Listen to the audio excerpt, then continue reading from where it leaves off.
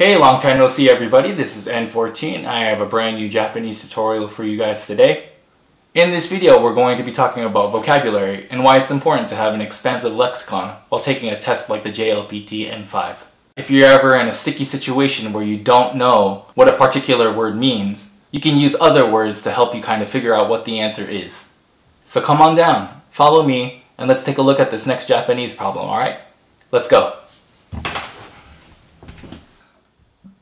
Alright, here we go. This is today's JLPT N5 level question.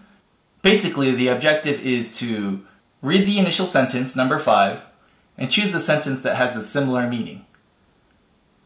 So let me read this for you really quick. It says, Watashi wa ichigo nado ga suki desu. So after reading the initial sentence, there are two words that stick out to me. The first word is mikan, and the second word is ichigo. If I properly prepared for this test and consistently reviewed my flashcards on a daily basis, I'd understand that mikan means orange or tangerine, and ichigo means strawberry. So basically, this whole entire sentence right here is talking about fruit. If for some strange reason you forget the word fruit in Japanese, your knowledge or having an expensive vocabulary will allow you to make an educated guess with regard to finding the answer. So right now let's take a look at A, B, C, and D and let's try to find the correct answer, okay? So let's take a look at A. 私は子供が好きです。子供 Kodomo means child, and child or children with regard to meaning have no relationship to fruit.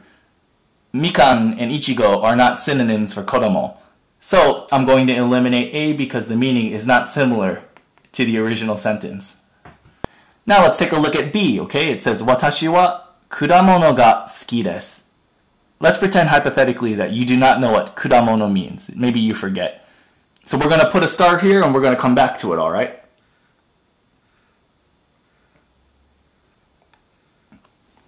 Next, we're going to take a look at C. C says, Watashi wa yasai ga suki desu. Now in this situation, let's pretend that you do know what yasai means, right? Yasai means vegetables. Are mikan and ichigo vegetables?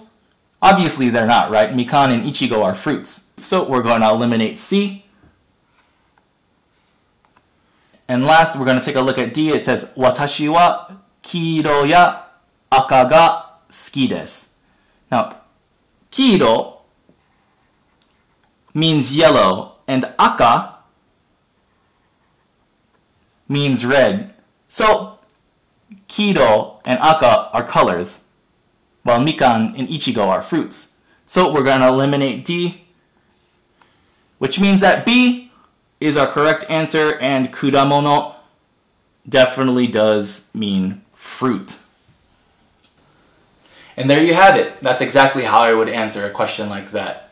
Once again, I can't express how important it is to have an expansive vocabulary. If you know many Japanese words, you can answer these questions relatively quickly. To me, questions like this are relatively easy, and if you studied your flashcards, you're going to be racing through these questions. You can answer this question in less than 10 seconds. Thank you for spending some time with me today. I hope that you are staying healthy and washing your hands frequently during these troubled times. If you enjoy these types of tutorials, please subscribe to my channel and click the notification button I'll be uploading Japanese tutorials frequently to help you pass the Japanese language proficiency test N5 level. Take care of yourselves, alright? And try your best to stay consistent.